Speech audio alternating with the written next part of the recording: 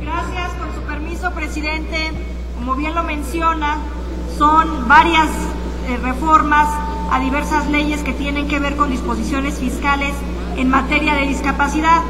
En la ley aduanera, y en razón de que las iniciativas se encuentran publicadas en la Gaceta Parlamentaria, les solicito se inserte el texto en el diario de los debates. En la ley aduanera se propone actualizarla debido a que a 16 años de su publicación han ocurrido muchas cosas como que ya está publicada la Ley General de las Personas con Discapacidad y ya se ratificó en nuestro país la Convención sobre los Derechos de las Personas con Discapacidad, así como la apertura de las fronteras, lo que enmarca el cambio de periodicidad con el que las personas con discapacidad pueden importar un vehículo adaptado para trasladarse en este país. Por otra parte, también una propuesta a la ley de los sistemas de ahorro para el retiro, esencialmente en tres sentidos. El primero, adicionar el indicador de discapacidad en el informe que CONSAR entrega al Congreso.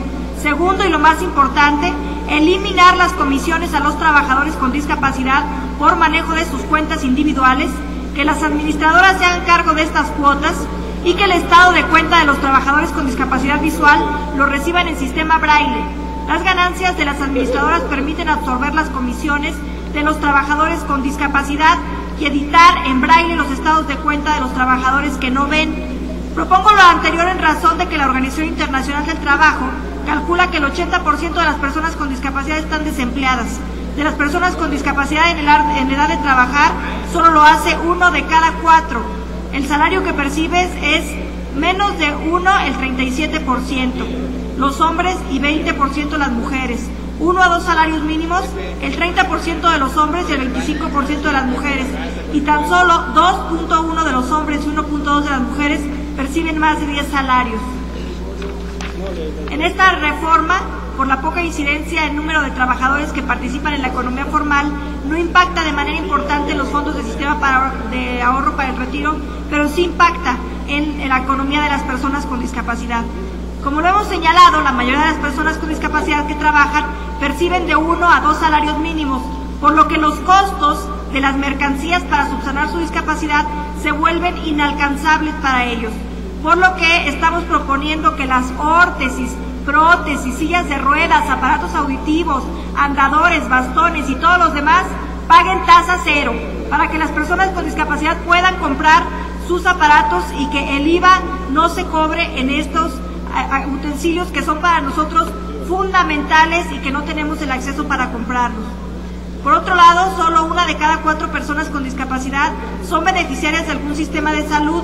Con la entrada del Seguro Popular, esta proporción pasó de uno a dos de cada, eh, a, uno de cada dos, pero eh, no todas las personas con discapacidad son, eh, tienen el acceso a ciertos médicos especialistas. Por este motivo se propone que las consultas de los especialistas que atienden a personas con discapacidad estén exentas del pago del YETU.